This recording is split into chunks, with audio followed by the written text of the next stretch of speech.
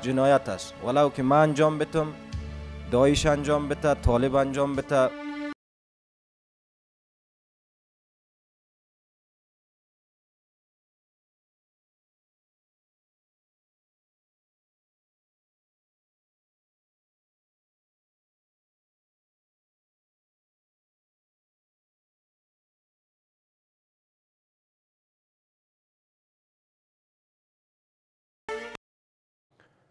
با درود بر روان شهدای آزادی بیان مشروع خبرها. ملت افغانستان هیچگاه بردگی را نمیپذیرد. رئیس جمهور غنی می‌گوید هدف گروه داعش از حمله های همانند حمله دیروز این است که مردم افغانستان بردگی را قبول کنند در حالی که هیچگاه چنین نخواهد شد. آقای غنی می‌گوید بر بنیاد تمام فتواهایی که در تمام کشورهای اسلامی صادر شده جای انتحار کننده در جهنم است و اگر اینان فکر می‌کنند که از راه انتحاری به جنت می‌روند کور خواندند. رویداد خونین دیروز و پس لرزه هایش این روزها تمام کشورها را فرا گرفته است. رئیس جمهور غنی یک روز پس از این رویداد هدف آن را تحمیل بردگی بر مردم افغانستان می داند و تاکید دارد که هرگز حراس افغانان به این هدفشان نمی رسند. جنگ بین آزادی و بردگی است. یک انتخاب واضح است. این ملت آزادمنش در آزادی زندگی می‌کنه یا به یک اقلیت کوچک تسلیم میشه که باعث برده زندگی کنه اگر خواهش از اینایی است که این ملت بردگی را قبول کنه هرگز نه هرگز نه آقای غنی فتواهایی را که تا اکنون در کشورهای اسلامی به شمول پاکستان صادر شده دلیل می آورد و می‌گوید که انتحار کنندگان از این راه به جهنم می روند. جای انتحاری و انفجاری جهنم است. جای انتحاری و انفجاری جهنم است. در این باید وضاحت واضح موجود باشه که اگر اینا فکر می‌کنن که کس مغز از اینا را شسته و اینا جنت خواد دیدن دروازه جنت از نگاه شرعی بر روی از اینا بسته است. فرد نخست کشور همچنان تاکید می کند که موزل جنگ افغانستان از این راه حل نمی شود حکومت وحدت ملی اراده واضح داره که جنگ را که مقابل ملت افغانستان اعلان شده با وضاحت پاسخ بگوید. اما در عین حال راه حل سیاسی دوام داره که در کنفرانس کابل اعلان کرده بودیم. دوام ببخشیم پس از رویداد خونین دیروز بیش از هر چیز دیگر انتقادهای سیاسیون مردم فعالان جامعه مدنی و روزنامه نگاران متوجه حکومت بوده است. و اینکه طرح امنیتی کابل واقعا کجاست و نتیجه طرح را که رویش صحبت می‌شد به کجا رسیده؟ واقعا چگونه انتحار کننده ها خودشان را به محافظت شده ترین نقاط امن در کابل میرسانند و یک رویداد تکان دهنده اتفاق میافتد؟ برای بحث بیشتر هم اینجا آقای دگر جنرال افضل امان امان رئیس عمومی گارنیزون کابل با من هستند آقای امان شما را خوش آمدید میگم. اساسا چرا انتحار کننده ها و چگونه خودشان را به امترین نقاط شهر کابل میرسانند و اساسا شما روی یک طرح امنیتی هم کار می‌کردین نتیجهش چی شد؟ ما در قدمه نخست تسلیت میگم به اعضای خانواده شهدایی که متاسفانه روز گذشته از اثر فعالیت های تروریستی ترورستان شهید شدند. و در این زمان به خانواده مطبوعات نیز تسلیت میگم که بدبختانه یک روز بسیار خونینی بود برای مطبوعات برای هموطنان عزیز ما در سطح کشور. یقینا سوال مردم مؤمنی است که چطور شد که این فعالیت تروریستی با وصف که تدابیر جدی را طی مدت بیشتر از 8 ماه در ساحات سبز و یا به نام گرین زون نهادهای امنیتی و دفاعی با یک تدبیر خوب را در اینجا اتخاذ کردم. ولی چطور اتفاق افتید که بالاخره یک فعالیت تروریستی و یا تروریست توانستند که در محل حضور پیدا کنند و باعث تلفات شهروندان ما و تعداد از ژورنالیست و خبرنگارای ما متاسفانه شهید و زخمی شدند. ما در شهر کابل به صورت مشخص و خاصتا تدابیر امنیتی خود از مساحات گرینزون آغاز کردیم. تدابیر ما از زمان آغاز فعالیت تروریستی که کل ما شاهد هستیم یک موتربم در اینجا انفجار کرد و بالاخره در همین محلی که ما صحبت می‌کنیم در اینجا باعث تلفات تعداد از وطنای ما شد. متعاقبا تصمیم و قرار به شد که ما یک تدابیر جدی را به عنوان ذکر ساحات دیپلماتیک است در و در این زمان انکشاف کمربند تدابیر امنیتی خود در سطح شهر کابل و متحققا در کابل هزمی جا اتخاذ کنیم. تقریبا نتایج کار ما یعنی به حدی بود که ما تا حدود توانستیم تعداد از یعنی مقدار از فعالیت های تروریستی دشمن های مردم افغانستان صد واقع شویم. ولی بدبختانه دیرو چنین نکمل اتفاق افتید آقای امان اساسا امین جایی که دیروز انتحاری شد در یک سال گذشته دو بار دیگه هم صورت گرفت به یقین سال گذشته هم ما در همین محل دو بار عمل انتحاری دو, دو عمل انتحاری صورت گرفت. مطلب ما در است که فعالیت تروریستی و تحرکات دشمنان مردم افغانستان همزمان با اعلان امی برنامه انشان ناکام خندق از جانب تروریستا و طالبان و یا دشمنان مردم افغانستان در جبهات مختلف که همیشه باید در عنوان بکنیم و تلفات بسیار زیادی برای دشمن وارد شد. بالاخره انتقام خود برای فعالیت های بسیار مرمود تروریستی از مردم می‌گیرند دشمن در صدد امی است که از ما انتقام بگیره پس وظیفه حداقل گارنیزیون کابل نهادهای امنیتی افغانستان چی است که نمی‌تونن تامین امنیت بکنن؟ مسئولیت نهادهای کشفی چی است تا اطلاع گیری بکنن که یک چنین رویداد اتفاق بله ضرورت است که ما دستاوردهای نهادهای کشفی و استخباراتی خود و در این زمان تدابیری را که ما در شهر یا در ولایت پرنفوذی که بیشتر از 7 میلیون مردم نفوذ دارد و در این زمان تمرکز بیشتر تروریستها و دشمنان مردم افغانستان هم سر مراکز شورا و خاصتا بالای شهر کابل است. شما من در جریان هستین و ما باید یه حوادثات توضیح بتیم و مسئولین امنیتی ما یقینا مردم خود باید در جریان اینمی پلان های تدابیری عملی طور بگذاریم که دستاورد ما را با شما انکاس بتین ما دو سه روز پیش در ساحات مسیحی و در این زمان در ساحات بگرامی تروریستای را دستگیر کردیم با واسکت های انتحاری و در این زمان ده ها فعالیت های تروریستی در شهر کابل و یا در ولایت کابل جلوگیری شده. مگر امی فعالیت تروریستی بسیار پیچیده که دیروز اتفاق افتید به مفهوم معنای نیست که نهادهای امنیتی و دفاعی در کل بیخبر هستند و یا ای که آگاهی ندارن و یا در مضمون غفلت کردن امان اساسا مردم افغانستان وقتی درد را می‌بینن به این فکر هستند که پس نهادهای امنیتی چی می‌کنن مسئولیت نهادهای امنیتی چی است؟ بدون شک شما کار می‌کنین شما هم قربانی میتین. اما چیزی که برای ما مهم است شما یک سایه به نام گرین زون به نام سایه محافظت شده ایجاد کردین ولی در امو سایه باز هم شما را آسیب می‌زنه دشمن. این ضعف نیست؟ ما به یقین یک جمله فعالیت و به اصطلاح پلان تدابیر ما است که ما سر پلان تدابیر امنیتی ولایت کابل در مجموع و شهر کابل یک بازنگری باید انجام بدیم تا بالاخره اینمی تکتیک های خسمانه دشمن خونسا بسازیم خوب است که اینی پلان تدابیری پیش ما آمدن. این پلان تدابیری در حدود 52 ماده داره که ما را توته توته کردیم. تقریبا به بیشترین جزئیات تدابیر امنیتی که کلی وظایف بخش استخبارات ارتباطات نادای امنیتی با مردم با شوراها شامل کمربندهای امنیتی گریندون شامل کمربند دوم دروازهای امنیتی متعاقبا مسدود کردن راه های منتهی به شهر کابل بالاخره به ولایت کابل تدابیر در, در دروازه های کابل و متحاقبا امی تدبیر را که در اینجا گرفته ولی متاسفانه دیروز کمل انتحاری صورت گرفت.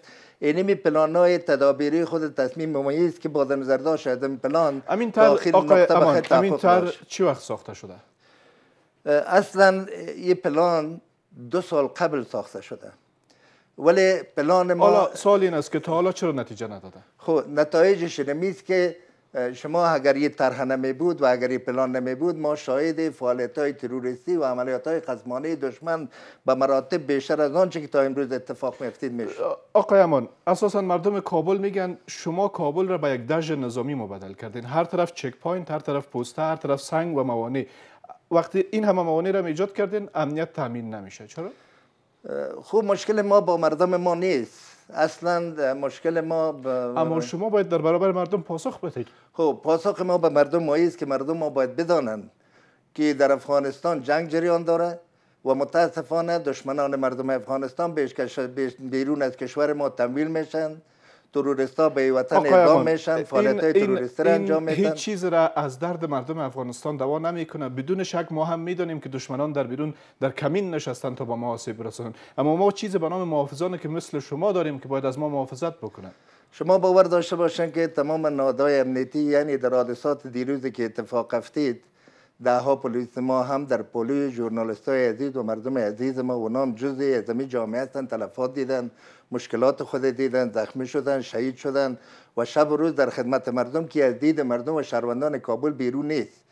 یعنی اگر ما سر مسائل تلاشی بسیاری از دوستای ما که تلاشی جدی نیست شما ازدهام ترافیک در شهر کابل مطالعه می‌کنن اگر در یک موتر ما یک دقیقه تلاشی ها را با بسیار جدیت اگر چه عمل می‌کنیم سر صدای مردم از نقطه نظر ازدهام ترافیکی بلند میشه ولی به هر صورت ما مکلف هستیم مسئول هستیم و تدابیر پلان های بعدی ما طور که انشان ما فعالیت های تروریستی رو جلوگیری می‌کنیم. چه وقت امین اطمینان نمیتین برای مردم کابل که دیگر یک چنین رویدادهای اتفاق نیفتاده پایتخت؟ ما نمی‌تونیم به صورت مطلق اطمینان بتیم ولی به یاری پروردگار و حمایه مردم در روند تحقق و تطبیق تامین امنیت و مسئولیت شهروندان کابل وظیفه ماست مکلفیت ماست مسئولیت داریم. آزادی حرکت ملت و مردم خود باید تامین بکنه و آنم به همکاری مردم افغانستان و خاصتا شهروندان حالا حرف شما برای نهادهای رسانه افغانستان و برای خبرنگاران چه است؟ ما بسیار متاسف هستیم. ولی خبرنگارای ما که یک جمله کسایی هستند که همیشه فعالیت های عملیاتی ما را به سم مردم رساندند. به شهروندان افغان به شهروندان کابل رساندند و در مجموع دوش و دوش نهادهای امنیتی بر ملت و مردم آگاهی دارن بسیار متاثر هستیم. ولی مطمئن باشین که ما در راستای تحقق و اهداف پلان تدابیر امنیتی و مسئولیت شهروندان خود من جمله خبرنگاران خود غافل نیستیم. امیدوار هستیم که در آینده نشندان دور ما انتقام شهروندان خود ژورنالیستان خود از تروریستان و دشمنان مردم افغانستان بگیریم. ممنون. آقای جنرال عبدالرحمن امان رئیس عمومی گارنیزون کابل بودند با ما. رئیس اجرایی حکومت حمله به جان خبرنگاران و افراد ملکی را یک جنایت در برابر مردم افغانستان می‌داند و تاکید دارد که برای حراس افغانان تفکیک افراد ملکی و نظامی اهمیت ندارد. رئیس جمهور نیز در نشست شورای امنیت ملی به نهادهای امنیتی دستور داده است که چگونگی رویداد دهم ثور و خلاهای امنیتی را بررسی و جزئیات آن را با رسانه ها شریک سازد. عبدالله عبدالله می‌گوید که رویداد دیروز در نشست شورای امنیت ملی بررسی می شود و به خواستهای رسانه ها رسیدگی خواهد شد. از سوی هم برخی سناتوران حمله به غیر نظامیان در بخش سبز یا گرینزون را پرسش برانگیز می‌دانند و از حکومت می‌خواهند که برای امنیت شهر کابل راه حل منطقی جستجو کند. تمیم شیر گزارش میده باز هم زمان برای نکوهش کردن یک حمله. رویداد خونین دیروز که جان دهاتن به شمول خبرنگاران را گرفت. شورای وزیران رویداد دهم سور را که در آن نو خبرنگار و شمار از افراد ملکی شهید شدند یک جنایت در برابر مردم افغانستان می داند و حراس افغانان را نیز دشمنان کشور. رئیس اجرایی حکومت از نیروهای امنیتی کشور می خواهد که در تامین امنیت شهروندان به ویژه خبرنگاران توجه جدی کنند. تروریست ها دشمنان همه مردم افغانستان هستند. اونا تفکیک نظامی غیر نظامی قوم مذهب منطقه هیچ مسئله را اونا در حقوق انسان حقوق بشر مسائل اسلامی هیچ معیار را در پیششان نیست و فقط جنایت کردن و بار دیگه قبه اندیشهشان فکرشان و روش رفتار خود بر مردم افغانستان ثابت ساختند. در نشست شورای امنیت ملی نیز رویداد حمله بر جان خبرنگاران بررسی خواهد شد. عبدالله عبدالله تاکید دارد که در این نشست در مورد خواستهای رسانه ها هم تصمیم گرفته می شود یک نیم ساعت بعد جلسه شورای امنیت ملی افغانستان است که مسئله در اوجه مورد بحث قرار می‌گیره. تعدادی از تقاضایی داشتن نهادهای رسانه‌ای که تقاضای مشروع است و در جلسه شورای امنیت در موردش تصمیم گرفته خواهد شد امیدوار هستیم که تصامیم موجب اطمینان مردم افغانستان باشه رئیس جمهور نیز در نشست شورای امنیت ملی به نهادهای امنیتی دستور داده که رویداد حمله بر جان خبرنگاران را بررسی کنند و عاملان آن را به پنجه قانون بسپارند. رویداد حراس افغانانه دیروز حمله بر آزادی بیان و جنایت در برابر بشریت است و عاملان آن به پنجه قانون و عدالت سپرده خواهند شد. سناتوران نیز خواستها و دیدگاه های متفاوت درباره رویداد دیروز دارند. برخی سناتوران چگونگی حمله در ششدرک را که یکی از مهمترین ساحه های محافظت شده شهر کابل است پرسش برانگیز می دانند و برخی دیگر هم از حکومت می خواهند که بر حراس افغانان ترحم نکند. ششدرک صاحب مسئولترین قسمت کابل است ما که تیر میشم امرا یک تزبیه تزبیه مرا می‌بینن که تو یک چیز انتحاری را کمربند چیش است او را دیده نمیتانن کور هستن چشم ندارن؟ بلیاز خدا بلیاز قرآن. بس است. جناب رئیس صاحب بیاین چیزی که از توان ما هست با ما فامیل کمک کنیم که او شهید شده رفته مرده شهید شده. قربانی مبارزه افغانستان شده. متیقین باش که او فامیلش از بین میره.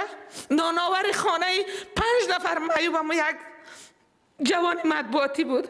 من دیگه چیزی گفتن نمی‌تونم از دولت می‌خوام که قاتلین مردم افغانستان جزایی بتن که صبر و حوصله مردم افغانستان و تحمل مردم افغانستان از اینکه بیشتر و بیشتر شد در مقابل از اینا خواهش ما از حکومت است که نیروهای امنیتی ما هرچی جدیتر فعال شوند و از ارگانهای عدلی و قضایی هم خواهش ماست که به دوسیه های این مجرمین رسیدگی جدی شود. اینها قابل ترحم نیستند که بالا از اینها رحم صورت بگیرد. رویداد دیروز خانواده رسانه ها را به ماتم نشاند و برای نخستین بار خبرنگاران و تصویربرداران به گونه دست جمعی شهید و یا زخمی شدند. آن هم در کنار محل انفجار که برای پوشش خبری آن گرد هم آمده بودند. و در مورد اینکه کمیسیون مستقل حقوق بشر افغانستان دیدگاهش در مورد آنچه که حراس افغانان بر خبرنگاران و آزادی بیان در افغانستان انجام داد چه است و اینکه چه اقدامات را کمیسیون حقوق بشر افغانستان انجام میده. بحث بیشتر خواهیم کرد با آقای محمد موسی محمودی رئیس اجرایی کمیسیون مستقل حقوق بشر افغانستان. آقای محمودی شما را خوش آمدید. میگم در آغاز می‌خوایم بپرسم کاری که مشخصا کمیسیون حقوق بشر افغانستان در پیوند و حمله دیروز و حادثه اولناک بر مطبوعات افغانستان انجام میده چی است؟ تشکر با عرض تسلیت خدمت شما. به خاطر همکاران رسانه شما و رسانه دیگه خدمت مردم افغانستان و فامیل عزیزایی که دیروز جانشان از دست دادن و البته هفته قبلی هم ما حوادث دلخراش در افغانستان داشتیم حوادث بسیار غمناکه که ما می‌خوایم تسلیت خود عرض بکنم کمیسیون مستقل حقوق بشر افغانستان حادثه دیروز را به عنوان یک حادثه ضد بشری به عنوان یک جرم علیه بشریت یک جنایت جنگی به شدترین نوش محکوم می‌کنه. یک عمل غیر انسانی غیر اسلامی و غیر بشری بوده بر علیه جمعیت ملکی خصوصا خبرنگاران که خبرنگاران که اینا سفیرای آزادی بیان هستند نماینده اطلاع رسانی هستند و در جامعه که مردم را از وقایع حوادث و از حقایق آگاه می سازن اینا وظایفشان انجام دادن و در این راستا با قهرمانی شهید شدن. جای تاسف بسیار زیاد و مایه غمگینی و حزن و اندوی ما و مردم افغانستان هستند. ضمن که ما نظر ما را در رابطه به جرمی بودن ضد حقوق بشری بودن و خلاف همه ارزش های حقوق بشری بودن اعلان کردیم. همچنان خواستار ای بودیم که دو اقدام عمده صورت بگیره. یکی که تدابیر بسیار جدی از جانب جدی و معصر و کافی از جانب دولت برای حفاظت حمایت و پشتیبانی و سپورت جامعه جمعیت های غیر نظامی به خصوص سنف خبرنگاران و سنف آزادی بیان صورت بگیرم. مسئله دوم مسئولیت پذیری دشمنای افغانستان نیروهای مخالف افغانستان که به صورت متواتر به صورت سیستماتیک و به صورت گسترده مرتکب جرایم علیه بشریت و جرایم جنگی در افغانستان. میشن شما این خواست را به سطح جهانی مطرح می‌کنین و با چه شرایطی؟ دیروز متاسفانه زمانی که حادثه صورت گرفت کمیسیون گزارش سالانه تلفات ملکی خود را نشر کرد.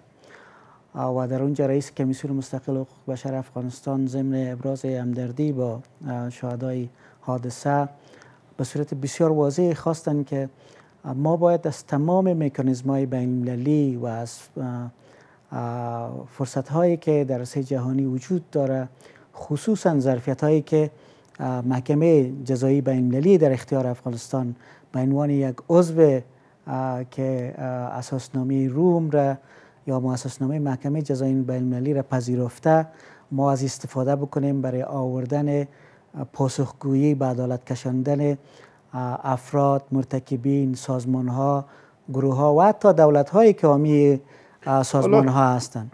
آقای محمودی بحث مهم دیگر این است که حکومت افغانستان هم در مورد زیاد کوتاهی کرده مخصوصا نهادهای امنیتی. حداقل حملاتی که در کابل و مو هم در سایه امنه که حکومت افغانستان خودش ازش نام می‌بره ایجاد کرده اتفاق میفته بار بار هم اتفاق میفته ولی حکومت افغانستان دیده میشه که در این زمینه کوتاهی می‌کنه. حالا شما با حکومت افغانستان چی می‌کنین و چی میگین برای حکومت افغانستان؟ خب ما باید دو بخش از هم جدا کنیم. یکی مسئولیت مستقیم و اولی است که او متوجه گروه های مخالف دولت افغانستان مثل داعش و طالب هستند که در حوادث مختلف اینا مسئولیت پذیرفتن. این مسئولیت به اونا برمیگردن و اونا می‌تونن مورد تعقیب عدلی و قضایی هم توسط دولت افغانستان قرار بگیرن و هم توسط میکانیزم های بین‌المللی عدلی و قضایی مورد تعقیب قرار بگیرن. و امی مسئله باز برمیگرده به دولت افغانستان که اینا مسئولیتشان در پیشگیری چقدر به صورت معصر انجام دادن به خاطر ازی که ما تلفات افراد ملکی را خصوصا در حمله تروریستی بر شهرها و بر مراکز غیر نظامی به صورت متواتر داشتیم. یعنی بر اولین بار نیست که اتفاق بیفته. در همه جا اتفاق بیفته و شاید آدرس هایی که قابل آسیب پذیر باشن یا بتانه آسیب پذیر باشه بر دولت افغانستان کاملا مشخص است. و تدابیر را که تا هنوز دولت افغانستان در این رابطه گرفته کافی نیست. یک دومی که پاسخگویی و واکنش به همچو حملات از جانب دولت افغانستان همواره ناکافی بوده. در بهترین شرایط بیشتر کردن مشکلات محدودیت های ایجاد کردن محدودیت ها در شهر و برای ساکنین غیر ملکی حتی کسایی که اعضای فامیل قربانی هستن ایجاد کردن. و سیومی که نتانستن برای به عدالت کشاندن و پاسخگو ساختن نیروهای مخالف اینا اقدامات معصر انجام بدن. برعکس اقدامات صورت گرفته تحت نام پروسه های سال و پروسه های سیاسی دیگه که فرهنگ پاسخگویی را ضعیف کرده معافیت را به وجود آورده و یک انسنتیف یا امتیاز شده برای گروه هایی که هنوز هم معتقد هستند که از راه خشونت می‌تونن امتیازهای بیشتر سیاسی به دست برن از راه خشونت می‌تونن در موقفهایشان باشن از راه خشونت می‌تونن به آزار و اذیت مردم بپردازن. یک بحث دیگر این است که کمیسیون مستقل حقوق بشر افغانستان یک ابزار قوی است در برابر حداقل بررسی و رسیدن به جنایت های جنگی به پرونده های جنایت های جنگی و پرونده که حداقل دیروز هم اتفاق افتاده یک پرونده جنایت جنگی است. و و انتقاد هم به نوع متوجه کمیسیون حقوق بشر افغانستان است که این پرونده ها را دنبال نمی‌کنه و فشار زیاد وارد نمی‌کنه به طرف های جنگ تا بالاخره روشن شود. حالا پاسخ شما در این مورد چه است؟ خب ببینید وظایف و مکلفت های دو طرف تفکیک باید شود. کمیسیون یک نهاد است که بر اساس قانون اساسی وظیفه نظارت از وضعیت حقوق بشر داره و در راستای حمایت و انکشاف حقوق بشر در افغانستان کار می‌کنه. ما در عرصه نظارتی چی کار می‌کنیم؟ در عرصه نظارتی تمام حوادث و وقایع نقض حقوق بشری تا جایی که امکان داره و توان ما هست ای را مورد نظارت قرار میدیم. نتیجهش راپورا و گزارش های بسیار معسق معسق و دستاول و فوری است که ما در اختیار دولت قرار میدیم از حوادثی که اتفاق افتاده. دوم سفارشاتی است که ما به دولت افغانستان میدیم. ببینید سفارشات ما کم نبوده. در طول ابی مدت که ما سفارشات به دولت افغانستان مهمی است که چقدر حکومت افغانستان واقعا حرف شما را گوش می‌کنه. چقدر عمل کرده با آنچه که شما مطرح کردید. بله. این یک مسئله بسیار جالب و مهم است. دولت افغانستان متاسفانه او اراده کامل سیاسی که برای شنیدن سفارشات کمیسیون مستقل حقوق بشر در حفاظت باشه از این کوتاهی کردن و ناکام بوده برای جایش. مثال بسیار عمده شمی است که ما در دو سال گذشته به صورت متواتر خواهان ازی بودیم که دولت افغانستان دروازه همکاری را با سی به صورت جدی باز بکنن تا اونا بتانن اقدامات را انجام بدن که در اختیار دولت افغانستان نیست. ببینید صلاحیت های آی سی سی در دو حالت است. یکی که دولت ها نتوانند دولت های عضو دومی که دولت های عضو نخواهند. دولت افغانستان متاسفانه از لحاظ توان رسیدگی به جرایم بین‌المللی جرایم ضد بشری جرایم جنایت جنگی در قادر نیست. اول دومی که متاسفانه اما خواهش یا خواستنی را که ضرورت بوده برای پیگرد عاملان از خود نشان ندادن. مثال های بسیار زیادی در افغانستان وجود داره. مثلا ما دیروز نظر بیش از 6000 نفر از افرادی که مصاحبه شده بود در رابطه به صلح منعکس کردیم. در بخش های مختلف از این که مثلا کسی آمدن قتل انجام داده رفته به مخالفین پیوستن. دوباره با پلیس صلح پیوستن و از جانب دولت نه تنها که مورد پیگرد عدلی و قضایی قرار نگرفته بلکه مورد تفقد و دادن امتیاز قرار داد این مسائل مشکلات عمده ای است که دولت افغانستان متاسفانه متوجه از این نمیشن و در کشورها و در شرایط پس منازعه و پس از منازعه. شما از محاکمه نورنبرگ شروع کنین تا جنگ جهانی تا مثال های دیگه در افریقا در امریکای لاتین همواره می‌بینین که تنها شرط به وجود آوردن ثبات و ختم خشونت در کشور امی است که پروسه عدلی باید به صورت جدیش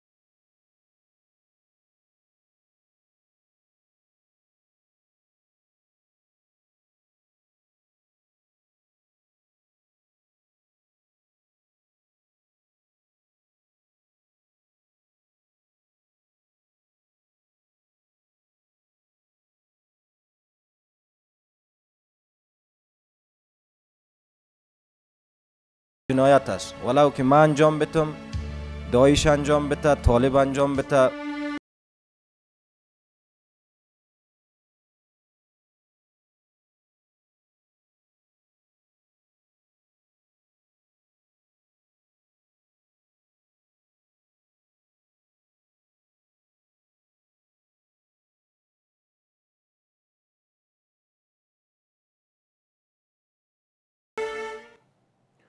آلمان دین حمله دیروز در کابل را مخالف ارزش های دینی و اصل های جهانی می خوانند. شمار از آلمان دین می‌گویند کسانی که حمله های انتحاری را انجام می دهند به هیچ دین تعلق ندارند. آنان از حکومت وحدت ملی می خواهند طراحان اصلی حمله های انتحاری را مورد پیگرد قانونی قرار دهند. یک روز پس از حمله خونین در کابل شماره از عالمان دین اینجا آمده اند تا این رویداد را از نگاه دینی به بررسی بگیرند. اینان حمله های انتحاری را خلاف ارزش های دینی و اصل های جهانی می خوانند و می‌گویند کسانی که حمله های انتحاری انجام می دهند به هیچ دینی تعلق ندارند. انتحار و انفجار زیر هر نام باشه از دیدگاه دین مبین مقدس اسلام حرام است جنایت جنایت است. ولو که من انجام بتم دایش انجام بده طالب انجام بده فاطمیون انجام بده نظام انجام بده خارجی ها داخلی انجام بده هر که انجام بده جنایت جنایت است توجیه نداره. همزمان اینان کشتن افراد بیگناه را از نظر قرآن و سنت حرام می‌خوانند و از حکومت می‌خواهند عاملان اصلی رویدادهای حراس افغانانه را مورد پیگرد قانونی قرار دهد. و حالا موقف علما این است کسایی که عاملین این قضیه هستند به هیچ نوع بدین تعلق ندارند ولو که نقاب دینی را در رویشان کشانده باشند و علما این واقعات را و این حادثات را تقبیح می‌کنه و از مسئولین تقاضایشون این هست که عاملین مشوقین و مراکز اینها را باید که هرچی زودتر مورد پیگرد قرار بده. در حمله خونین دیروز که مسئولیت آن را گروه داعش بر دوش گرفت نزدیک به سی تن به شمول نه خبرنگار و کارمند رسانه شهید و 49 تن دیگر زخمی شدند. هرچند همواره چنین حمله های از سوی عالمان دین مبین اسلام خلاف ارزش های این دین خوانده شده است. اما داعش پیش از این بارها زیر نام دین اسلام حتی در مسجدها نیز افراد ملکی را هدف حمله های حراس افغانانه قرار داده است. در مورد چالش های امنیتی در سطح کلانش که بالاخره میدان های نبرد هم جنگ به گونه گسترده جریان داره و بدون شک بر حملات که در کابل اتفاق افتاده هم این نبرد میدان همچنان تاثیر می‌گذاره. برای بحث بیشتر هم اینجا آقای محمد رادمنش سرپرست دفتر سخنگویی وزارت دفاع ملی با من هستن. آقای رادمنش اساسا امنیت چهار دروازه کابل اخیرا به وزارت دفاع ملی سپرده شد اما بازم در داخل کابل انتحار صورت می‌گیره. آیا واقعا همین انتحاری ها از بیرون کابل داخل میشن؟ بسم الله الرحمن الرحیم. لازم می‌دانم که پیش از که به جواب سوال شما بپردازم شهادت غازی رسولی و نوروز علی را که یکی از جمله که هر دویش از جمله رفقای بسیار خوب ما بودند. به شما و به تمام جامعه مطبوعات تسلیت بگویم. و وزیر دفاع شخصا ما را موظف ساختند که به ارتباط.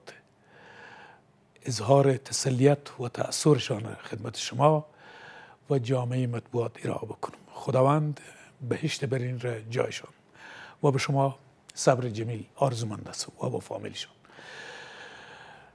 به جواب سوال شما باید بگویم که بله دروازه های کابل بین نیروهای دفاعی امنیتی و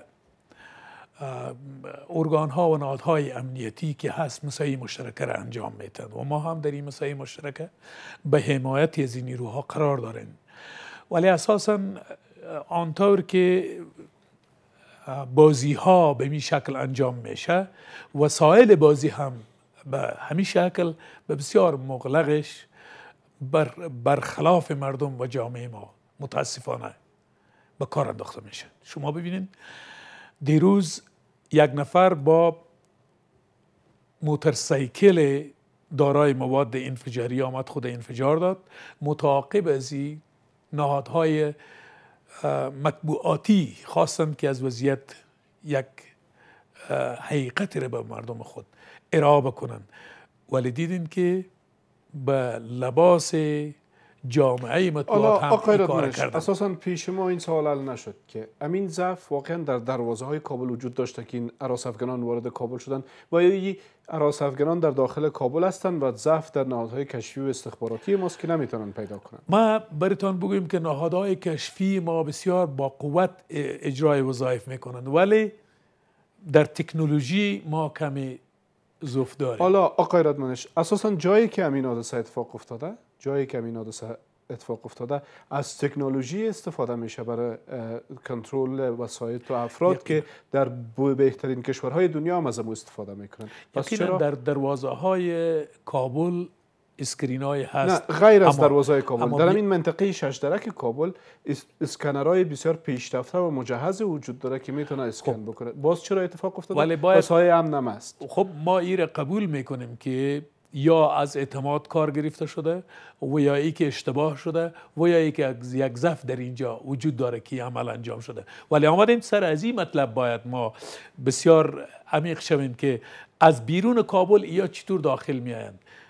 شما به یاد داشته باشین که ما چندین دفعه هم گفتم که مواد انفجاری به شکل مواد انفجاری در اینجا نمیآید. به شکل آرت میآید به شکل بوره میآید به شکل برنج جور میشه. استخبارات منطقه به همین شکل اینا را ترتیب می‌کنه و به داخل کشور و توانایی کشفش نزد حکومت خب افغانستان نیست. یقینا که ایر باید کشف می‌کردن. ولی با توجه به ای که همه دروازه های شهر کابل که محافظت میشن بعضی راه های هم داره که در بعضی مواقع ممکن است عناصر افراطی همین مواد در توسط افراد اطفال و یا وسایل و ذرای دیگه حالا آقای رادمانش بحث دیگر این است که ظاهرا در های نبرد زمانی که بر افغانان فشار بیشتر میشه اینا به حملات انتحاری و انفجاریشان در کلانشهرها و مخصوصا در پایتخت افزایش میدن. وزارت دفاع ملی افغانستان اساسا چه می‌کنه در برابر دشمنان که بالاخره اینا در میدان نبرد که کوتاه آمدن این گونه عملات انجام میتن چی باید شود؟ خب همو مبارزه است علیه دشت افغانان که امروز در تمام میادین جنگ ادامه داره. ما یازده عملیات را توسط نیروهای دفاعی افغانستان پلان کردیم و تطبیق میشه و در همه جا شکست خوردند. 68 عملیات هجومی نیروهای کماندوی ما در سر تا سر مناطقی که ما نسبت به وضعیت مزنون به این هستیم که شاید در اونجا گروه های دشت افغان موضع داشته باشند مهمات سلاح مواد انفجاری مین و این چیزا. ما شما می‌تونین که دستشان را کوتاه بکنین از این گونه عملات؟ هر روز دشمن تلفات می‌بینه و هر روز ما منابع تمویل از یا و منابعی که اینا از نگاه تجهیزات تمویل میشن توسط نیروهای دفاعی افغانستان از بین برده میشه. همین امروز ما در ننگرهار در غزنی در فرا در هلمند در اورزگان و همچنان در مناطق درزاب جوزجان و فاریاب دستاوردهایی داشتیم. به تعداد زیادی از یا سرکوب شدن. موازی از یا خندقهایی که اینا جور می‌کنند برای ازی که مردم را جامعه ما را به تعدید بکشانند. و دیگه پرسونلی از یا اینا همه از جمله مواردی است که در 24 ساعت گذشته توسط نیروهای دفاعی افغانستان مورد حمله قرار گرفته. امی قوای هوایی ما امروز هشت ضربه هوایی را برای دشمنان تنظیم کردند. اینها همه گروپای را از بین بردند که لیدرهای گروپای تروریستی بودند که اینها البته در کندوز در در فاریاب در سرپول در جوزجان و در هلمند و ارزگان از بین رفتند. حالا با عنوان آخرین پرسش آقای رادمنش وزارت دفاع هم نهادهای کشفی در میدانهای نبرد و در جاهایی که حداقل بر عملیات میرین دارین که کشف کنین و حداقل از بعض پلانهای تروریستا و حراستگانایی که بالاخره کلانتر شهرها را هدف قرار میتن آگاه شوین؟ همین کشف و استخبارات ما اگر هر روز به صدها موارد را دستگیر نکنن به هر شهر ده ها انفجار و انتحار صورت می‌گیره. ما یقینا هم تکنولوژی در زمین داریم هم تکنولوژی هوایی داریم که به نام اسکنگل و همی بالون هاست و در این زمان کمره هایی که ما در زمین حالا آقای, آقای مردم افغانستان انتظار دارن که انتقام خونشان را شما بگیرین شما نیروهای رزمی که در میدان های نبرد میرزمین. واقعا انتقام خون همین جوانایی که شهید شدن را می‌گیرین؟ ما متحد به این هستیم که ما و جامعه مطبوعات یک جا برای برای افشای حقایق هر روز با هم مشترکن کار می‌کنیم اینها گروپ های تروریستی و دهشت افغان هستند که ما و مطبوعات را مورد حمله قرار میدن. ولی همین 24 ساعت گذشته اضافه 100 نفرشان از صحنه محاربه توسط نیروهای دفاعی افغانستان خارج شده. ما هر روز از, از, از, از جامعه مطبوعات آنطور که حمایت و حفاظت می‌کنیم از خونشان هم حفاظت کردیم و قصد خون این شهدایی که دیروز در, در, در, در دنیا و افغانستان همه مردم به تعذیت از او نشستن. ما گرفتیم و این تعهد ماست که در برابر دهشت افغانان از هیچ گونه کرنش استفاده نخواهیم کرد. خبرنگاران اعضای شورای ولایتی و فعالان جامعه مدنی در چندین ولایت کشور امروز برای شادی روح شهیدان رویداد خونین دیروز مراسم دعاخانی برگزار کردند. آنان با انتقاد از کم توجهی نهادهای امنیتی در پیوند به امنیت خبرنگاران تاکید دارند که بر رویداد خونین روز گذشته از سوی یک دادگاه بیطرف رسیدگی شود. این رویداد کارد را تا استخوان خیلی از خانواده ها در سراسر کشور رسانده است. تا آنجا که خودم در هر جایی که امروز و دیروز برخوردم هیچ کسی حال خوشی نداشت. خانواده رسانه کشور نیز در سوگ عزیزانشان و برای شادی روح آنان امروز در چندین ولایت جمع شدند و مراسم دعاخوانی راه انداختند. اینجا در شمال کشور تخار خبرنگاران، نویسندگان، اعضای شورای ولایتی و فعالان جامعه مدنی با راه اندازی این مراسم دعاخانی از به توجهی حکومت نسبت به امنیت خبرنگاران انتقاد می‌کنند هرچند خبرنگاران تاکید دارند که این گونه رویدادها نمی‌تواند ارادهشان را ضعیف کند.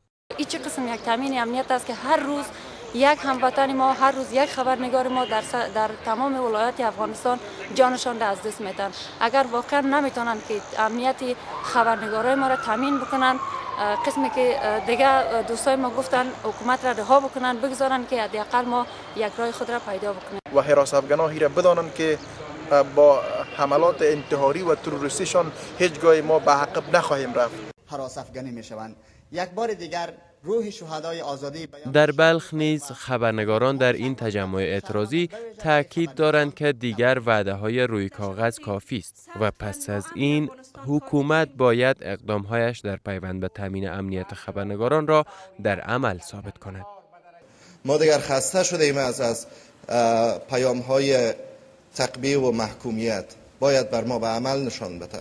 ما در استانه سوم روز جهانی مطبوعات قرار داریم. که از این روز باید در هر کشور جشن گرفته شود. اما این روز بر ما بر روز ماتم تبدیل شد. من امروز باورمند به این نیستم که واقعا داعش و طالبی وجود داره. داعش و طالب داخل حکومت امروز خبرنگارا را سرکوب می‌سازه به دلیلی که واقعا ناکارایی دولت را آشکار می‌سازه در غرب کشور فرا. اینجا نیز در این نشست حمله بر رسانه ها حمله بر چشم و هنجره مردم کشور دانسته می شود و از جامعه جهانی نیز خواسته می شود که به چنین جنایت ها رسیدگی کند. پر مطبوعاتو باندې برید د هیواد د ټولنې په سترګو باندې برید دی. د هیواد د ټولنې د هغه په ژغ باندې برید دی. د هغه په انزور باندې برید دی. جنایات جنگی معمولا از طرف سازمان های بین المللی تعقیب میشن و ما به جامعه جهانی از طریق رسانه ها صدا می‌زنیم که باید به همچو قضایا و جنایات جنگی رسیدگی شود. و به دولت ما صدا می‌زنیم که باید برنامه های مسئولیتی طرحهای مسئولیتی بر خبرنگاران داشته باشند.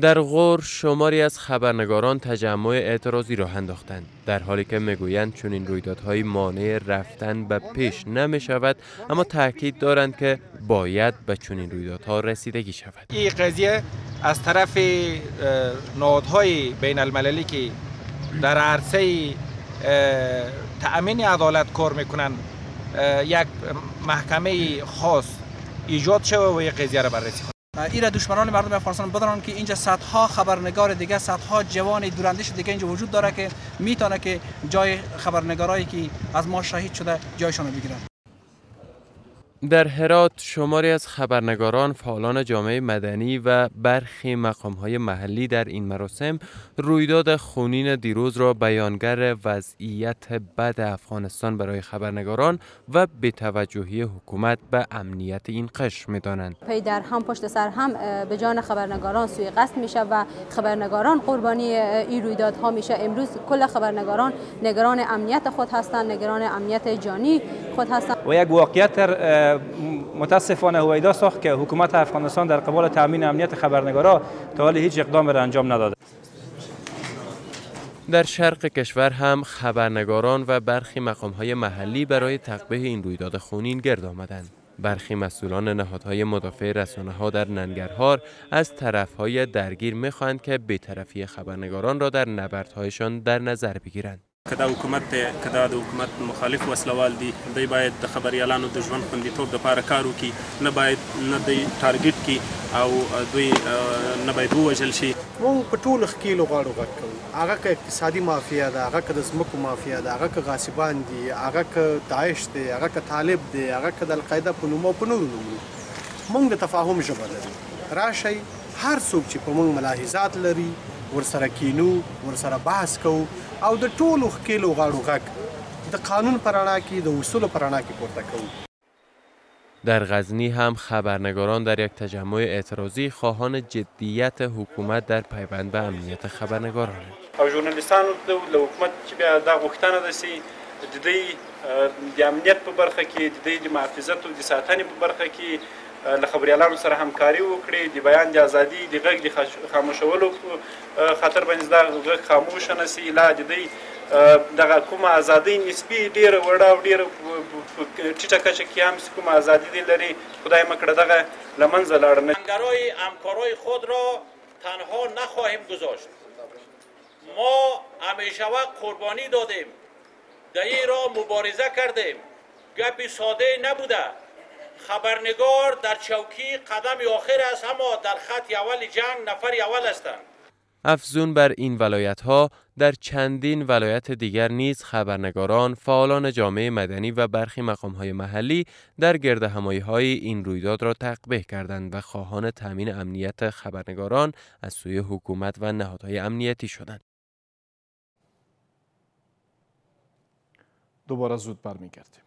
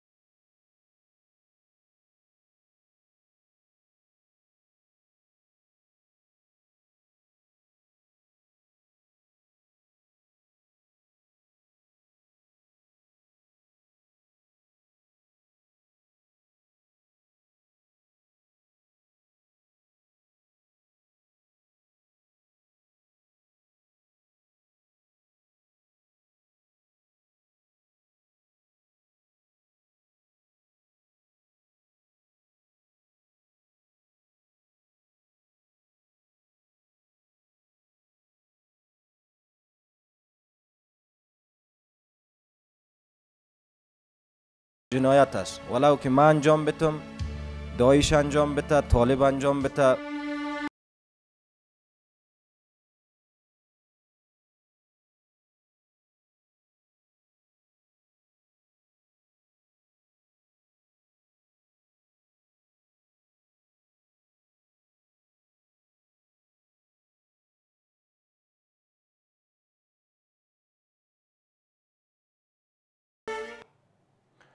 خانواده قاضی رسولی از رسانه ها می خواهد که خبرهای مربوط به گروه های افغانی را تحریم کنند. قاضی رسولی خبرنگار تلویزیونی یک روز گذشته در یک حمله انتحاری شهید شد. امروز مراسم دعاخانی وی در ولسوالی سید خیل ولایت پروان برگزار شد. خانواده شهید رسولی می‌گویند که رسانه ها و خبرنگاران بیطرفند و هر گونه حمله حراس افغانی بر آنان جنایت جنگی است. ولسوالی سید خیل ولایت پروان اینجا مراسم دعاخانی برای شهید قاضی رسولی و سایر خبرنگارانی که روز گذشته در یک حمله در کابل شهید شدند برگزار شده است اعضای خانواده قاضی رسولی از افزایش نامنی ها و کشتار خبرنگاران به شدت انتقاد می کنند و تاکید دارند که هرگونه حمله بر نهادهای رسانه‌ای جنایت جنگی است که به منظور خفه کردن آزادی بیان را اندازی می شود یک ژورنالیست یک خبرنگار او چه گناهی داره او در کدام جبه رفته؟ و ما تقاضایم از تمام رسانه‌ای است که این گروه وحشی را کاملا خبرهایشان باید سانسور بکنند و قطعا بعد از اینکه خبرشان نشر نکنند که حداقل اونا بفهمند که یک حالتی قرار گرفتن که یک حالت سنگشن است. این یک اصل است که خبرنگارا حق دارند تا برند حتی تا خطوط اول جنگ در تمام دنیا خبرنگارای چی داخلی چی خارجی می‌تونند که برند و زوجا گزارش تهیه کنند و به مردم رعایت کنند ولی ایده ما هیچ اصلا درک کرده نمی‌تونم که این کار از یعنی چی یعنی یک گزارشگری که می‌خواد خدمت کنه تا که حقایق اصلی جامعه را بخواه برملا بسازه او را اینا میان شهید می‌سازند نماینده فوقالعاده رئیس جمهور در امور انسجام به مخالفان مسلح دولت هشدار می‌دهد که کشتار خبرنگاران مانع آزادی بیان و فعالیت رسانه ها در کشور نخواهد شد. صدای مردم افغانستان به عوضی که خفه شه بلندتر و بلندتر میشه و یا دمو پلانای کلانی که داشتن ناکام ماندن و یا تلاششان است پشت پلانای خرد میگردن. و انواع مختلف می‌خواهند که از هان مردم خشمدار کنن و مطمئن باشه که انتقام یاره انشالله چند چند و چند چند گرفتیم و بار دیگر خواهد هم گرفتیم خدا یاری کنه و به دانشگاه را پیدا کنید. دوست داری کدام رشته را بخونید؟ غازی رسولی یکی از برجسته ترین خبرنگاران تلویزیون یک بود که دست کم چهار سال می‌شد در این تلویزیون کار می‌کرد. یکی از آرزوهای شهید رسولی تامین صلح و ثبات در کشور بود و دوست داشت به جای تهیه گزارش از خشونت از خوشی های مردم افغانستان گزارش تهیه کند.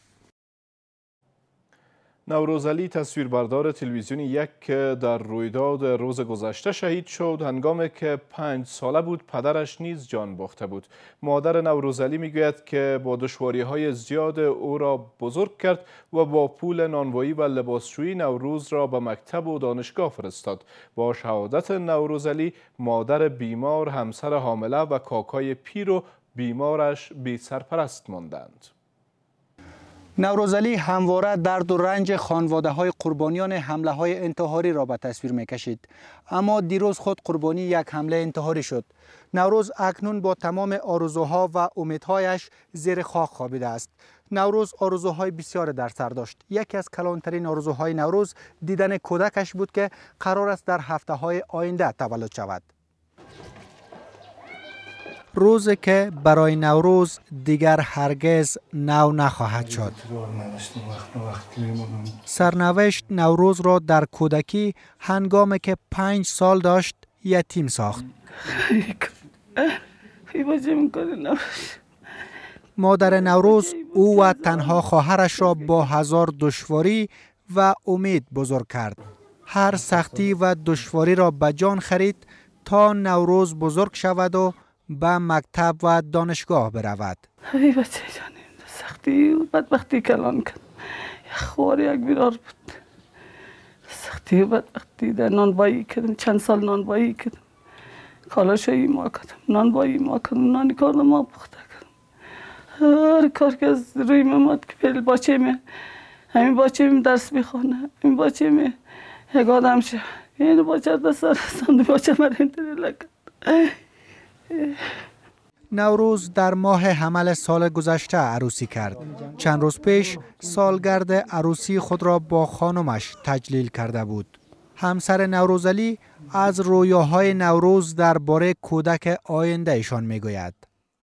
آرزوهای زیاد داشت دیگه قرار داشت بینگره و زیاد چیز هم گفت آرزو داشت دیدن شیده تمام چیشه مادر نوروز بیمار است. کاکایش نیست که فرزند ندارد و سخت پیر و بیمار است در خانه نوروز زندگی می کند.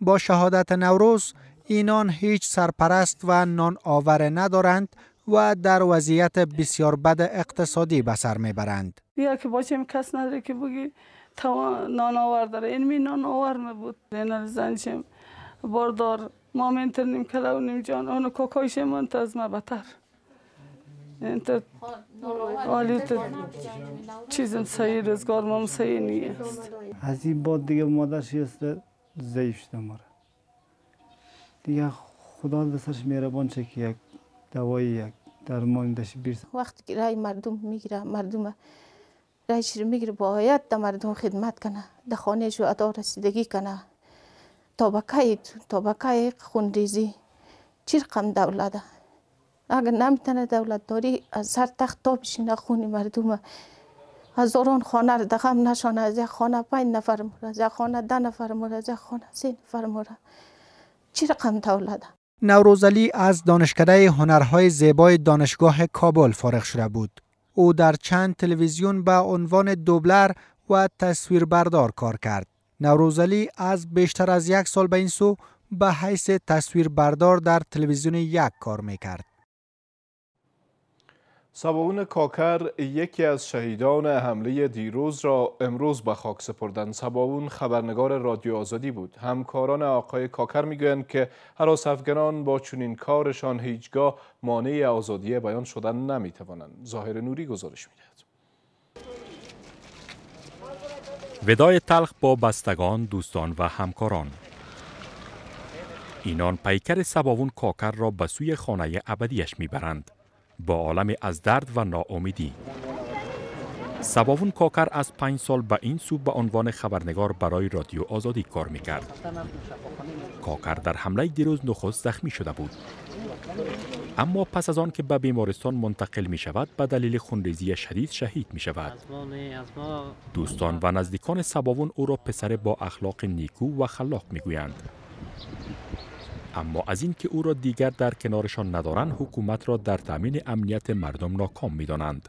هر هر رقم انسان صاحب یک برخورد متفاوت بسیار خاص داشت و این برخوردش بسیار صمیمانه و بسیار نیکو بود. دولت چی می‌خوایم؟ دولت چی کده می‌تونه؟ دولت فعلا هیچ چیز کده نمی‌تونه.